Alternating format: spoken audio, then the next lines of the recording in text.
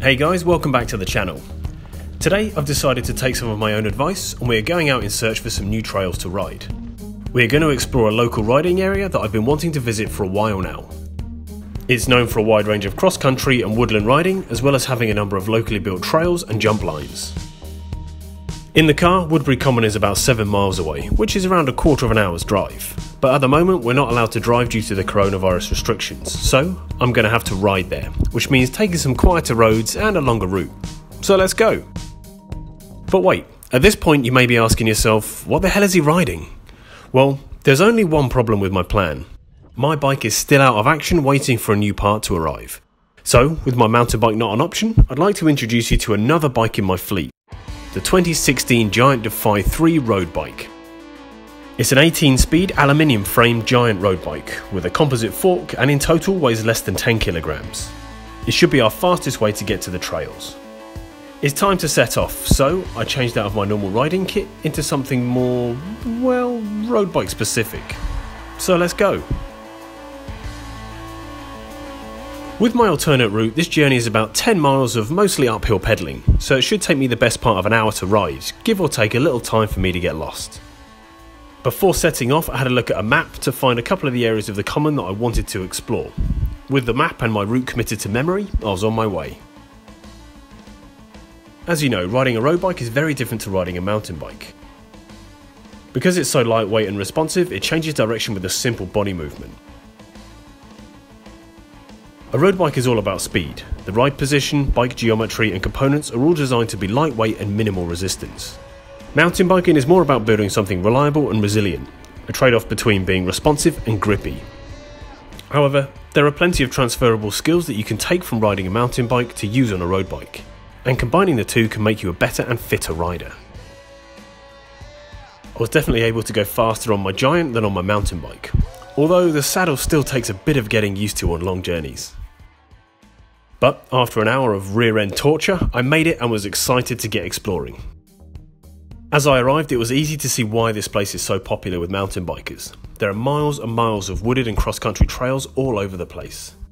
There are an endless amount of routes to get lost on, featuring some interesting and challenging terrain.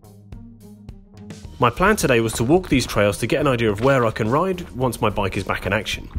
But now that I'm here, I can't help but to have a little ride on a couple of the easier paths.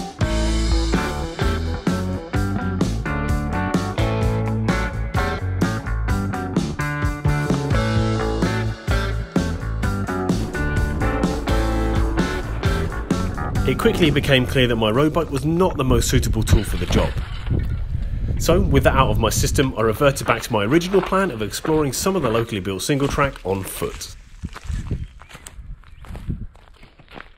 Okay, so I've just locked my bike up up by the castle. I'm going to do the rest on foot. That way I can really, really explore the woodland and find exactly what I'm looking for. Let's go. The first place I headed for was towards the east. I'd found a thread on a mountain bike forum that pointed me in the right direction. Thanks to my brief session looking at a map, it wasn't long before I was on the right track. So I've started to go a bit Bear Grylls now. Um, I'm starting to see the telltale signs of bikes, so tyre tracks, um, berms and things, so I really can't be far off. I followed my wilderness instincts and managed to find the first piece of single track. As it turns out, this trail is a nice introduction to the valley. It's on a gentle gradient and the trail flows nicely downhill with a couple of small berms, roots, and flat corners to keep things interesting.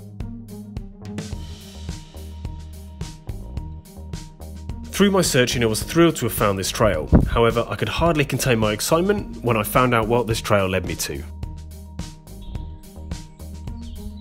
Amazingly, at the top of the hill I was presented with multiple marked lines of crafted single track.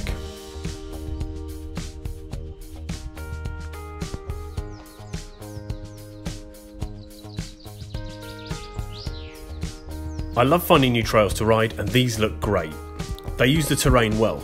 Starting off steep, they twist and jump their way down the hillside, ending in a flatter area that winds its way between the trees. Containing a good amount of natural and man-made features, I recommend that you have your bike in check before attempting these.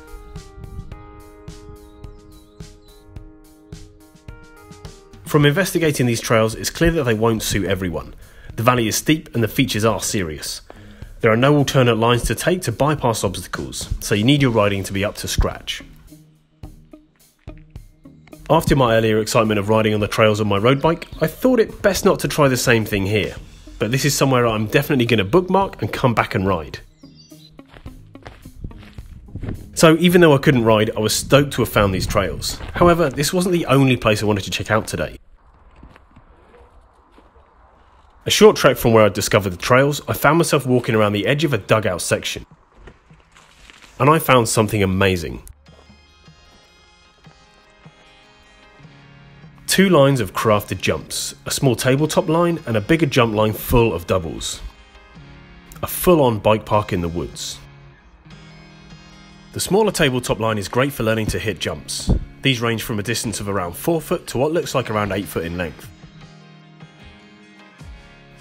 The larger doubles line is of course for the more serious freestyle rider.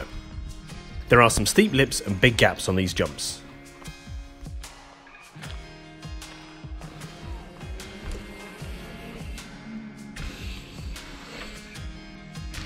Investigating here, there's also a steep wooden drop that no doubt looks flat on camera, but trust me when I say it's not for the faint hearted.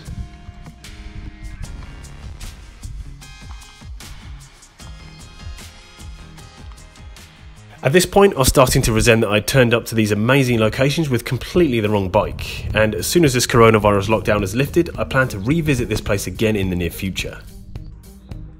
If you're wondering how I was able to find these hidden places to ride, well, check out my video on finding trails. It will tell you a bit about my process for searching out new places to ride. I hope you enjoyed today's video and it inspires you to go check out some local places for you to ride. Thanks for watching, I'll see you next time.